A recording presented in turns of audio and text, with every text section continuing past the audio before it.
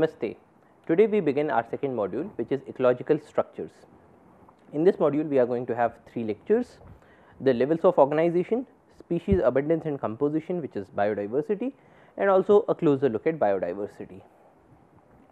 So, let us begin with the levels of, of organization and as before we will start with a story.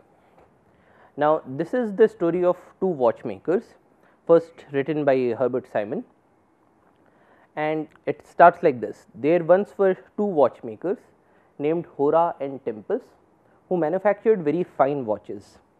Both, both of them were very highly regarded and their phones in their workshops ran frequently. New customers were constantly calling them. However, Hora prospered while Tempus became poorer and poorer and finally lost his shop. What was the reason? So, this is a story of two watchmakers, one is called Hora and the second is called Tempus. And both of them are very fine watchmakers, both, both of them are highly in demand. And both of them have their workshops in which the phones are ringing constantly because customers always want to know about them. Now, in this case Hora is the one that prospered or say he became rich whereas Tempus is the one who became progressively poorer and poorer. So, this is a story through which we will understand why organization is important. Now, we move on. The watches the men made consisted of about 1000 parts each. Tempus had so constructed his that if he had one partly assembled and had to put it down to answer the phone say it immediately fell to pieces and had to be reassembled from the elements. The better the customers liked his watches, the more they phoned him, the more difficult it became for him to find enough uninterrupted time to finish a watch. Now, in both of these cases, we have watches with 1000 elements or 1000 parts now, in the case of Tempus, he constructed a watch in a manner that you had to bring all the parts together in one go to make the watch a functional watch. So, all of these have to be together all the 1000 pieces have to come together at the same time. So, that the watch becomes a functional watch. However, the better the watches he made. So, with time as the quality of watches improved, the demand for the watches also improved and when demand increases the customers call him again and again. They phone him in his workshop and Tempus has to leave his watch. So, for instance, if Tempus had prepared say 990 pieces he had put together only 10 pieces remained and then he gets a phone call. So, he has to leave these 990 pieces and go ahead and attend the phone call while he is attending the phone call all of these pieces they just break down and so they come up as different pieces which have to be assembled again. So, this was the mode of operation of Tempus. Now, because of this whenever he got a phone call he was not able to complete his watch and so his rate of uh, production of watches deteriorated like anything and there would even be days in which he would not be able to prepare a single watch because you uh, bring together 500 elements you get a phone call it comes down to 0 you then again start making the watches then again you get a phone call again it goes down to 0 and so on. Now, let us look at how Hora worked. The watches that Hora made were no less complex than those of Tempus, but he had designed them so that he could put together sub assemblies of about 10 elements each. 10 of these sub assemblies again could be put together into a larger sub assembly and a system of 10 of the latter sub assemblies constituted the whole watch. Hence, when Hora had to put down a partly assembled watch in order to answer the phone, he lost only a small part of his work and he assembled his watches in only a fraction of the man hours it took Tempus. So, how did Hora prepare his watches? Now, in the case of Hora's watches here again you have 1000 elements, but these 1000 elements work like this. So, you have level 1. Now, in the case of level 1 you bring together 10 of the sub pieces. So, 10, 10 of these pieces will be put together and once they are put together they become a big a bigger piece. So, now you have this bigger piece in which you have 10 of the original pieces that are together. So, now this becomes a sub assembled part of the whole of the watch. Now, in the case of level 2 you have 10 of these sub assembled pieces and they come together and then they form another larger piece and in the case of level 3 you had 10 of these pieces together and all of these 10 come together and then they make the watch. Now, in this case let us call these smaller pieces as let us say that this is A, this is B, this is C and then this is D. Now, in the watch D, D has 10 elements of C. Now, each element of C is 10 elements of B and each element of B is 10 elements of A. So, altogether we have 1000 pieces of A which is what we had in the case of Tempus as well. So, this is A and this also is A. So, you have 1000 pieces together, but then because in the case of Hora all of these pieces were sub assembled and made into an organization. So, this was an organization in which you had a hierarchy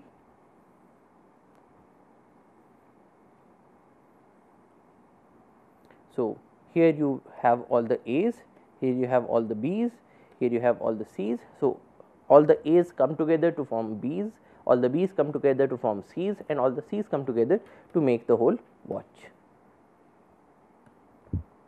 Now, if you have such an organization, what happens is that suppose Hora had come to this stage. So, he had prepared or he was in the process of making a C.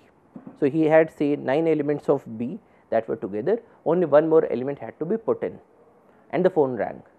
So, what would happen is that these 9 pieces of B would again shatter down and become 9 individual pieces of B.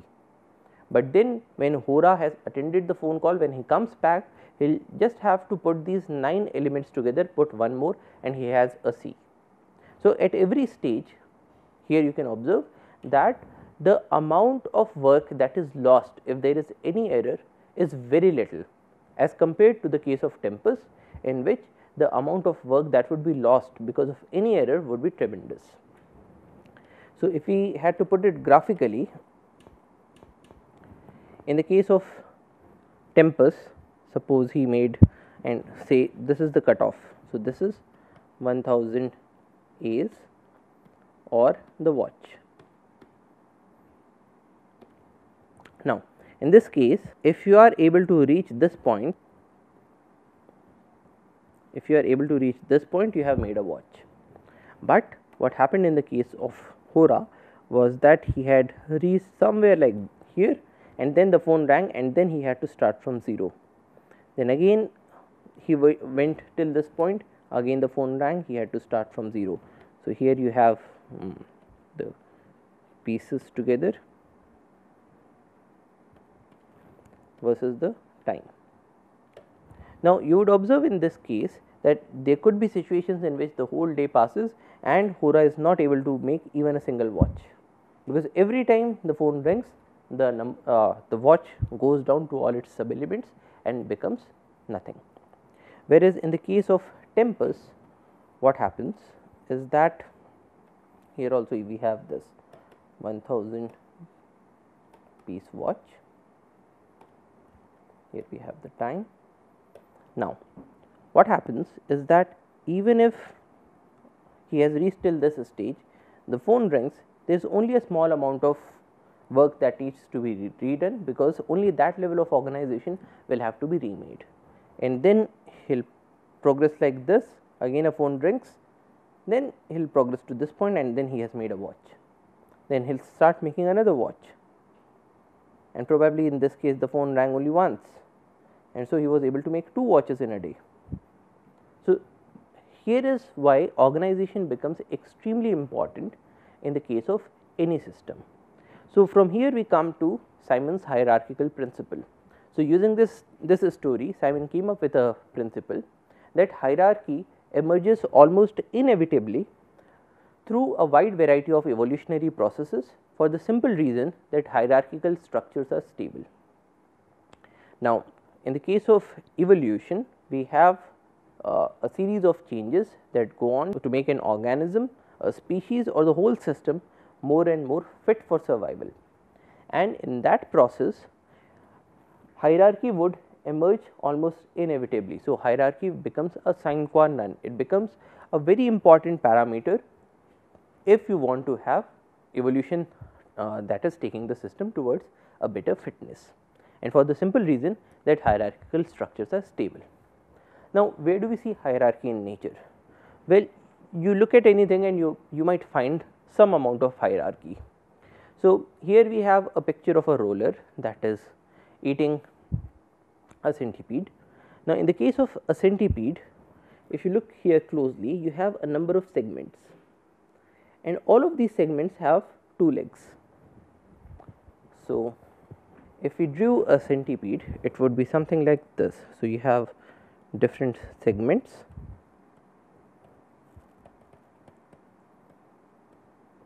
then you will have the mouth parts and maybe you will have the end region. Now, all of these segments have two legs.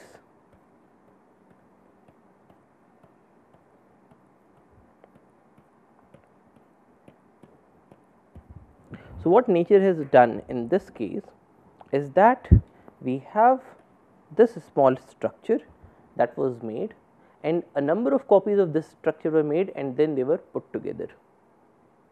So, this is a very similar case as that of the watches of Hora.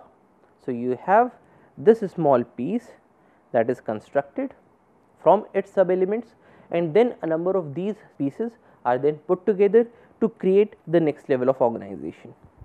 Now, similarly, if you look at your hands, now all these fin uh, all the fingers have these three structures. So, why these three structures? Here we also we are seeing the same thing, we are observing segmentation as we had observed in the case and these segments are also very similar to what we had observed in the case of this centipede. And you will observe the same thing everywhere when you look around. You will find it this in centipedes, you will find this in millipedes, you will find this in caterpillars, you will find this in earthworms, you will find it even in our bodies. So, for instance, if you have a look at your hands, so the, fin the fingers are having these three segments everywhere.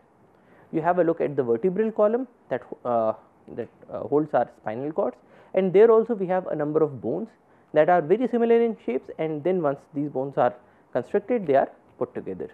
So, essentially we are observing these levels of organization when we look around in nature. And in the case of this organization, what we observe is that we have one level of structures let us call them A that are, are combined together to make a structure called B that are combined together to make a structure called C and so on. And whenever we have such an organization, we also observe the emergent principle. Now, the emergent principle says that the whole is greater than the sum of the parts or the whole has properties that its parts do not have. So, coming together uh, coming back to our example of the centipede, we will observe that this portion this small segment of a centipede it has got some properties. It has a particular weight, it has a particular size and shape it has these two legs. But once you have put all these small parts together to construct the centipede, the centipede has properties that are very different from those of these smaller segments. So, it incorporates the properties of the segments, but by coming together as a larger organization it also gets some new properties. So, the whole is greater than the sum of its parts and the whole has properties that its parts do not have. Now, we will look at some more examples of the emergent principle. Here is an example of fire ants.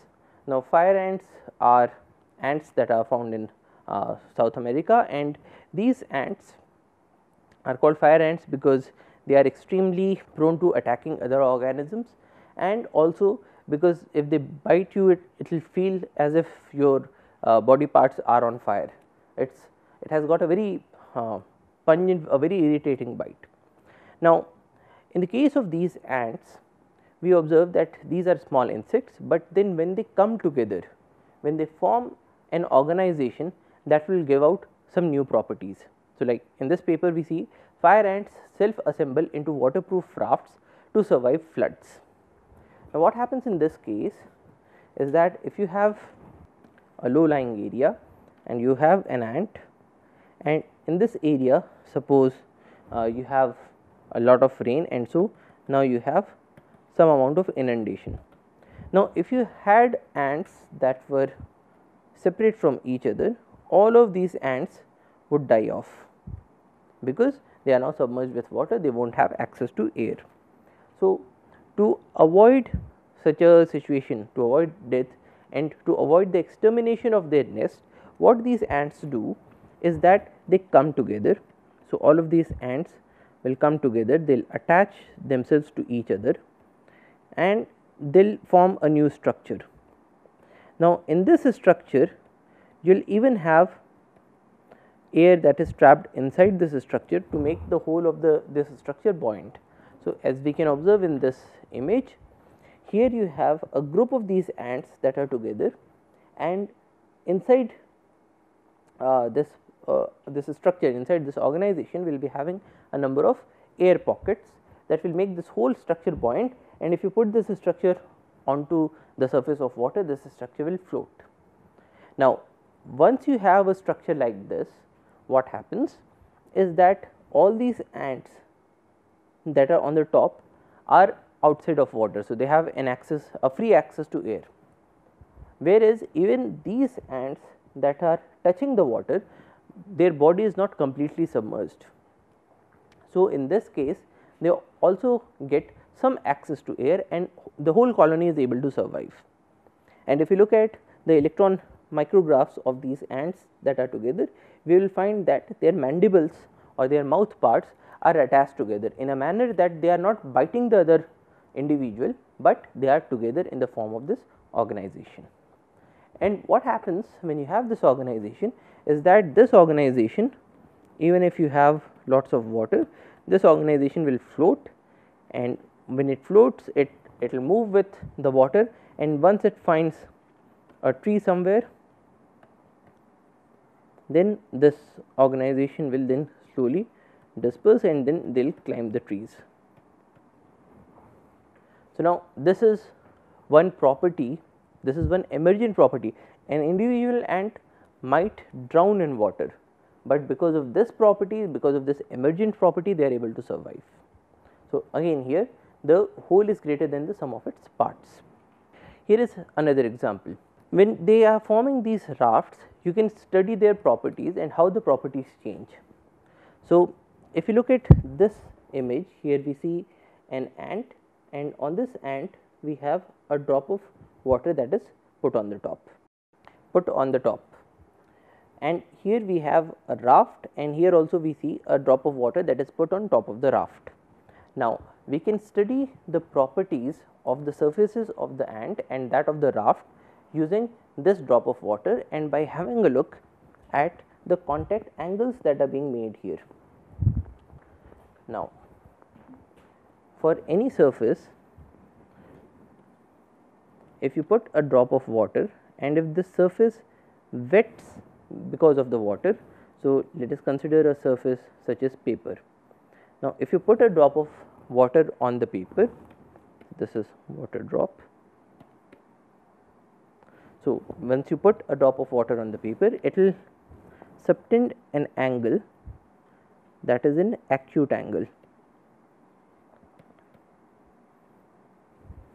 which would show that the paper is hydrophilic.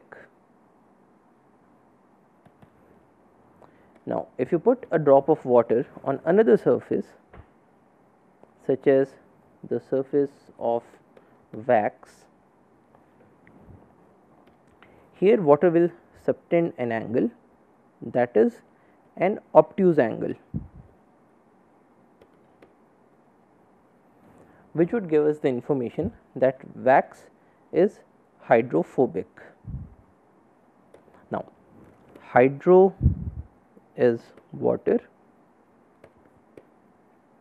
philic is loving and phobic is hating or someone who is afraid of. Now, in the case of paper because paper is hydrophilic. So, it is in love with water, it, it wants to have as much water as is possible. So, it attracts water to its surface because of which we get an acute angle. Whereas, in the case of wax because it is hydrophobic, it is afraid of water, it wants to repel water as much as possible. So, it tries to clear off these surfaces. So, this surface is now cleared off and it wants to have as little contact with water as possible because of which it forms an obtuse angle. Now, by looking at these angles we can understand the level of hydrophobicity of surfaces. Now, if we come back to the images, here we are observing that there is a drop of water on top of the ant and this outer surface is called the cuticle. Now, this cuticle is mildly hydrophobic because it is subtending an obtuse angle. But if you put this drop of water on a raft of ants, the angle that is subtended it becomes even more obtuse. So, the level of hydrophobicity increases. So, the, the amount of water repelling nature of the ants also increases. And at the same time we can also observe that if you put a single ant inside water, it will try to grab a small pocket of air. But if you have this whole raft that is uh, that is drawn using a stick, it will have so much amount of air that it will be much more buoyant as compared to a single ant. So, the whole will have properties that are derived from the components, but are also there will be some emergent properties that are different from all the components that are combined together. Now, with this we can also observe number of uh, liquid like properties of these ant rafts. So, for instance, here we have uh, one such raft that is put on top of a petri dish. Now, if you put another petri dish on top and if you press this and then if you release it, it will come back to the original shape. So, essentially this group is now getting some properties of elasticity. Then if you put one such group into say a pipette and then you put a drop of uh, or a ball of lead inside this pipette. So, you will observe that this ball of lead it slowly moves down. It will behave very much like a very viscous liquid something like honey. So, if you put so suppose you have two containers and one container has water and the second container has honey. Now, you are taking a ball of lead and you are dropping it in both of these containers. Now, in the case of water because the level of viscosity is less this lead will fall down very fast whereas in the case of honey it will have a, a slower speed. Now, in the case of ants when you are putting them together because they are combining themselves with each other. So, they are also getting the properties of viscosity which is an emergent property. So, if you talk about a single ant you will not have a property of viscosity because it is a single element, but you put all of these together and they get an emergent property which is viscosity and also emergent properties such as elasticity. So, elasticity, viscosity are things that we are getting uh, as emergent properties. Now, emergent properties are found nearly everywhere in nature. So, for instance, if you look at a termite mound, so uh, a termite again is a small insect and such a such a small insect can only do n number of items in its life, but you put a whole colony of termites together and they will form up these structures these mound like structures which again have their own properties. Now, these structures are made in a manner that you have ample amount of air circulation, you have uh, thermal regulation and so on. Now, uh, if we talk about the construction of any building, there would be a supervisor that would be coordinating the actions of all of these of all the people who are making the building. Whereas, in this case there is no such supervisor. All these termites are just doing their own jobs and by doing their own jobs they construct this structure. So, this again is an emergent property. You just use a single termite and it will not be able to make a mound, but because of the collective actions they get this property that they are able to construct a mound of this particular shape. Now, if you look at the level of organization in the biological world. So, now whenever we are talking about organization you need to remember two things. One is that in this organization, so uh, when we say that we have subcellular organelles, cells, tissues, organ. So, if you look at any particular linkage say cell to, to tissue. So, tissue will be comprised of a number of cells. So, here we will observe a hierarchical principle or Simon's principle that will operate. So, you will have cells as independent units, you put these cells together and they form the next level of structure which is a tissue. So, we will observe hierarchical structures everywhere and second we will observe emergent properties everywhere. So, a cell has certain properties, but when you put all these cells together they form the tissue. So, tissue will be comprised of cells, but will also have a number of properties that are not found in cells. So, it will also have a number of emergent properties. So, when we look at organization these are two things to keep in mind. Now, what are the levels of organization in the biological world? So, we, we begin with the subcellular organelles. A number of these subcellular organelles will come together and form the cell. Now, a subcellular organelle does not have any characteristics of life, but a, a cell is a living entity. So, just by putting these organelles together you get a new emergent property which is life in the form of a cell. Then you put cells together and they form a tissue. Tissues come together to form organs. Organs come together to form an organ system followed by an organism. Now, an organism is the basic entity from which we can start our analysis especially in the case of ecology. So, you put organisms together and these organisms are of the same type. So, they form a population. You put a number of populations together they form a community. Now, till community we have all the biological elements. Now, you put community which is a biological element together with the abiotic elements and you get the ecosystem.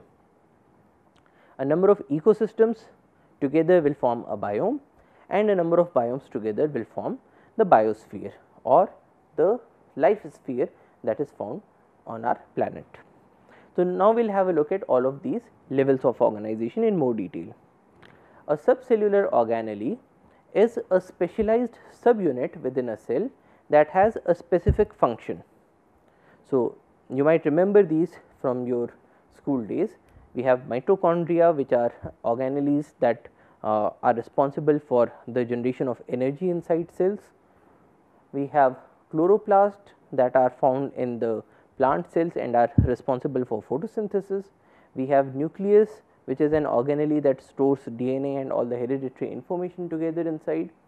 We have vacuoles which are like waste bags or uh, specialized containers inside the cells to store something.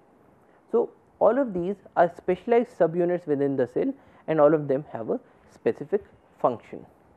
Now, if we have a look at the epidermis of an onion, so you take an onion, you separate out its outer layer, then you stain it with uh, stains and then you have a look. So, here we will observe that there are cells. So, this is a plant cell and here we observe a nucleus. So, nucleus is a subcellular organelle, subcellular because this is at a level that is below that of the cell. So, this is a subcellular organelle, organelle because an organ is uh, we will come to it in a short while, but an organ is an organization that is performing a specific function. So, here also these organelles are performing some specific functions, but because they are very small in size we do not call them organs we call them organelles when they are subcellular in size. So, here we observe subcellular organelles within a cell. Now, a number of these subcellular organelles will come together to form the cell and the cell is the basic structural, functional and biological unit of all known living organisms or the smallest unit of life. It is the basic structural, functional and biological unit. So, all the organisms have are made up of cells, a cell or a number of cells. One cell in the case of a unicellular organism such as bacteria and multiple cells in the case of multicellular organisms such as human beings. Now, this is the basic structural unit. So, the structure of the body will be made by cells. These are the basic functional units because they will be performing all the functions and they are responsible for all the emergent functions that are there in the body and they are the basic biological units because all the processes like respiration or say cell division they all happen at the level of the cells. So, they are the basic structural functional and biological units of all known living organisms or the smallest unit of life. And we can observe cells very easily in the case of onion or in the case of, uh, of animals if you make a, a smear of blood you will be able to see the red blood cells. If you make a smear of of your uh, cheek cells you will be able to see uh, a number of, uh, of epithelial cells and so on. Now, from cells we move on to tissues. An ensemble of similar cells or ensemble of similar cells if you go with the French pronunciation, an ensemble of similar cells and their extracellular matrix from the same origin that together carry out a specific function. Now, in the case of a tissue you will have a number of cells together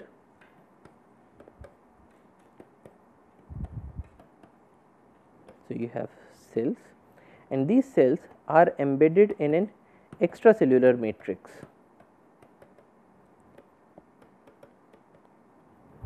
So, these cells together with the extracellular matrix will form a tissue.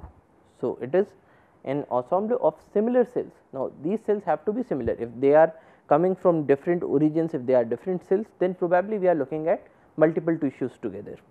But an ensemble of similar cells and their extracellular matrix from the same origin that together carry out a specific function. Now, what could this function be?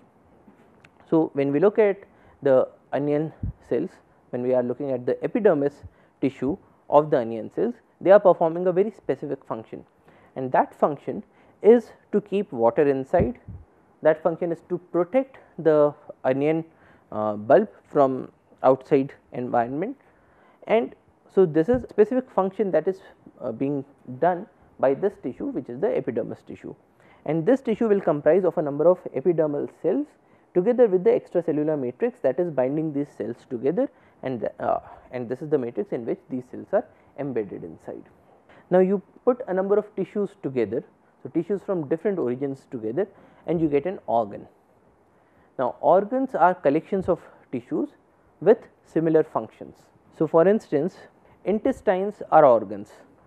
So, in an intestine you will have a number of different tissues.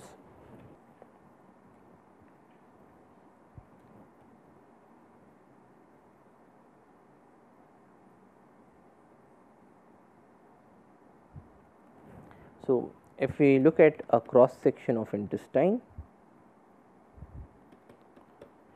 we will be having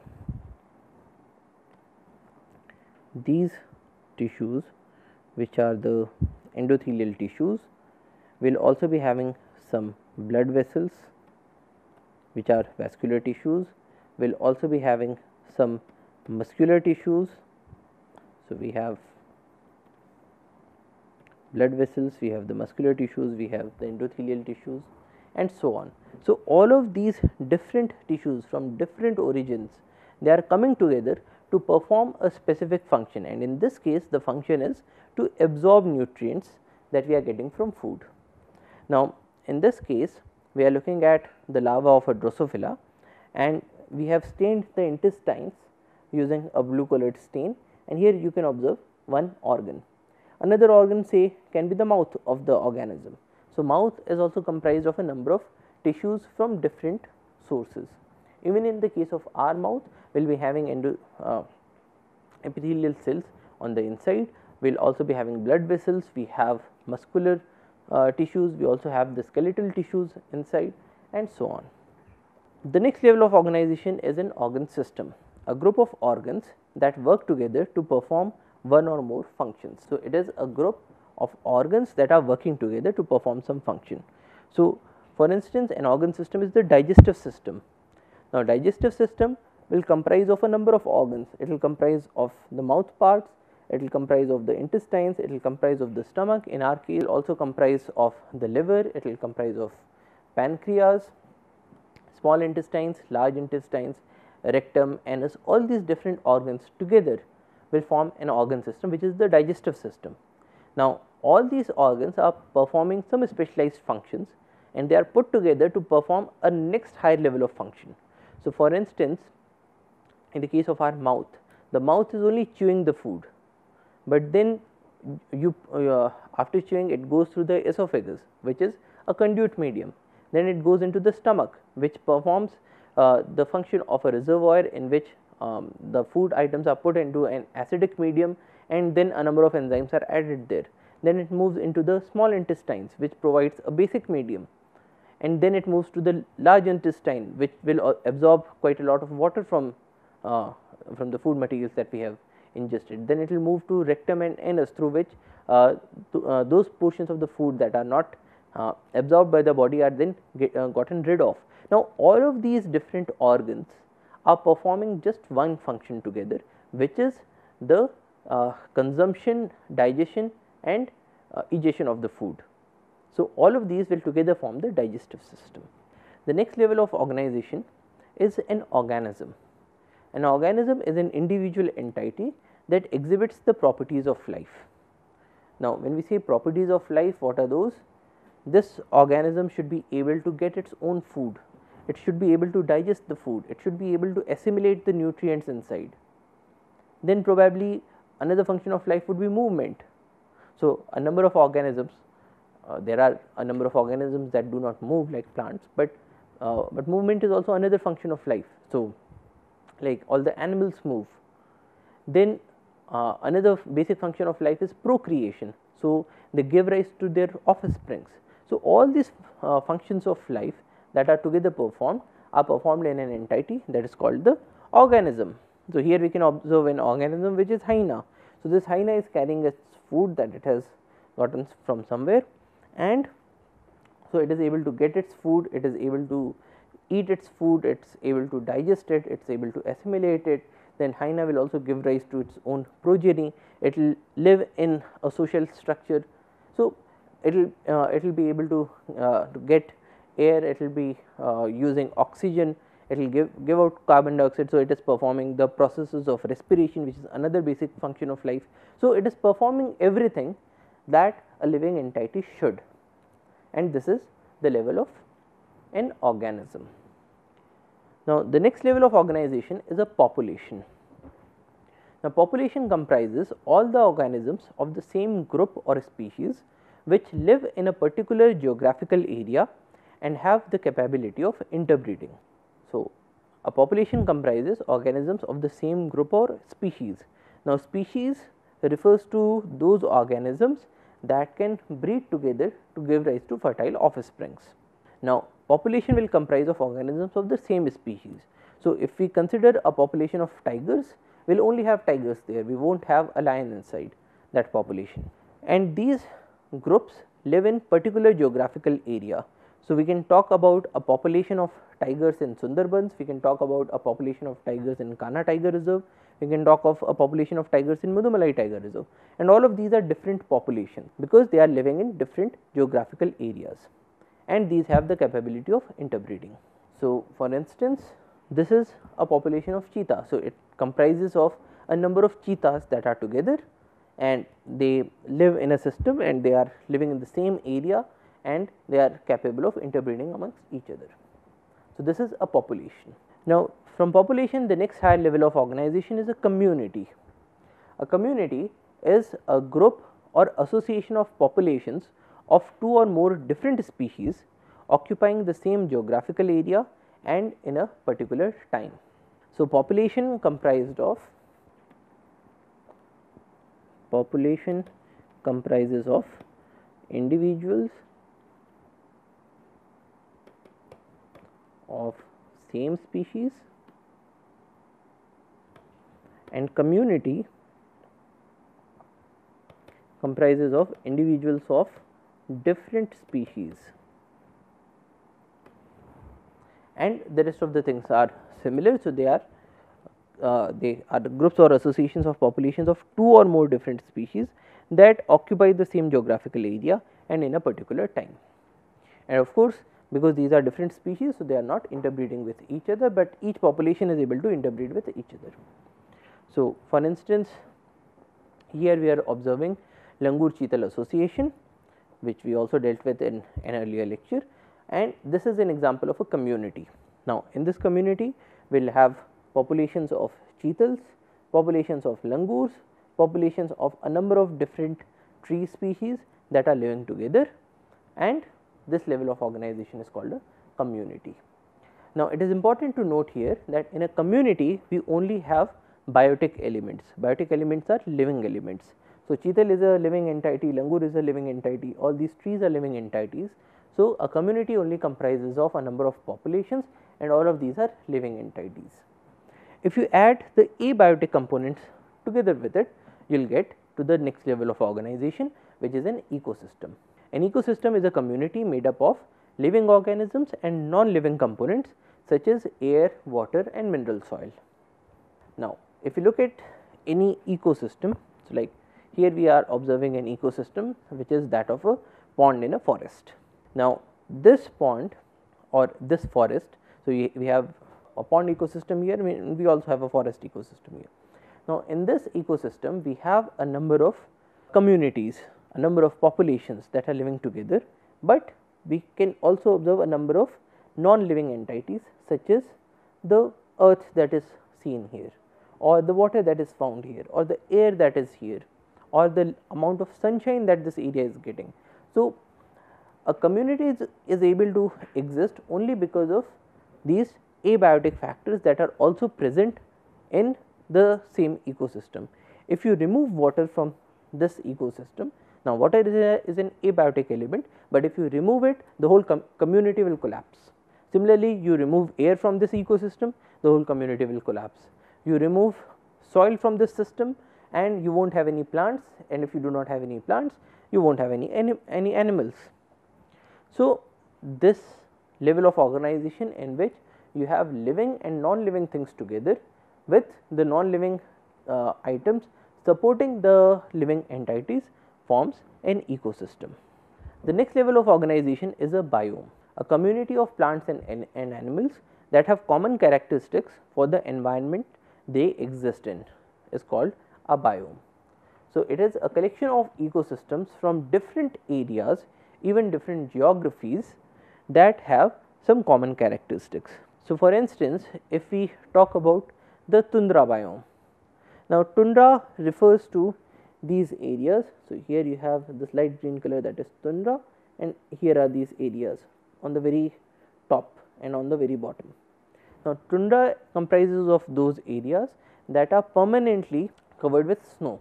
So, these are very cold uh, environments. So, you can have an ecosystem that is here in this tundra and you can have an ecosystem that is here in this tundra and both of these are not connected with each other, but still these ecosystems will have some similar properties because they are very cold. So, the animals that are found there will be having lots of fur for example or they will be having a layer of fats because they will not be uh, having an access to quite a lot of food most of the times. Or let us look at the next level another one taiga. Now, taiga is this area. So, this is comprised of uh, forests and these forests have uh, have trees that are practically untouched till this date. Now, in these areas whether you consider a taiga forest in Canada or you consider a taiga forest in say Russia. Both of these will have very similar characteristics because they again are very cold, they do not have quite a lot of access to sunlight, the level of primary productivity is very less. And so the organisms that are found in this area will also tend to be larger in body size so that they are able to store a lot of nutrients inside their body because the level of primary productivity is less.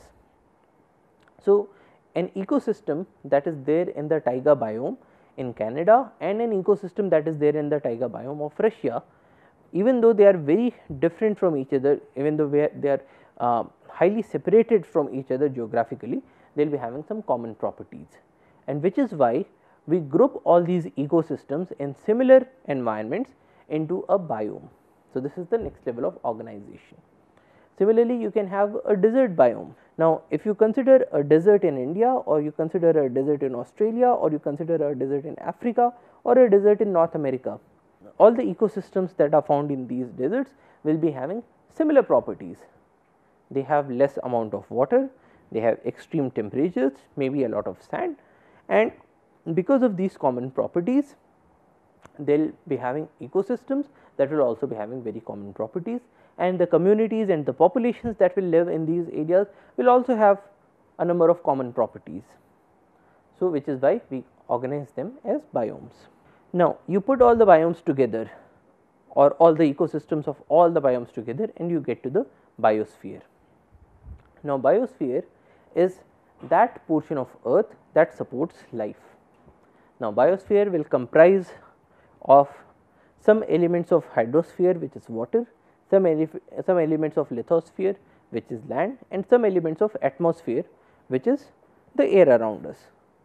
And there is a particular confluence of all three of these. So, you have the lithosphere, you have the hydrosphere and you have the atmosphere and there will be some portion of all of these that will support life and that will be called the biosphere. Now, we sum up by looking at the levels of organization in the biological world once again. So, we can begin with the organism. So, organism is a living entity that is performing all the biological functions and an organism is comprised of a number of organ systems. So, organ systems such as the digestive system or the respiratory system. So, respiratory system will comprise of your airways, your nose, your lungs, the diaphragm or say the circulatory system which comprises of the heart and all the blood vessels. So, you have a number of different organ systems that comprise an organism and each organ system is comprised of a number of organs. So, for instance, as we looked before uh, the respiratory system, the respiratory organ system is comprised of a number of organs such as the nose, the trachea or the windpipe, the bronchi, the bronchioles, the alveoli, the lungs, the diaphragm and so on. Now, each of these organs will be comprised of a number of tissues. So, for instance, uh, if you look at the diaphragm which is an organ. So, this diaphragm will be comprised of muscular tissues, it will have nervous tissues and it will also have circulatory tissues or vascular tissues. Now, these tissues will comprise of cells that are similar of similar origin and they also comprise of the extracellular matrix that is uh, surrounding these cells and in which the cells are embedded.